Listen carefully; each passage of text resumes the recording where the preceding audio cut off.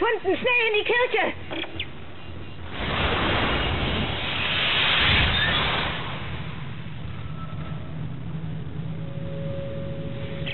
Dana, warum die Unitology-Kirche? Warum hier?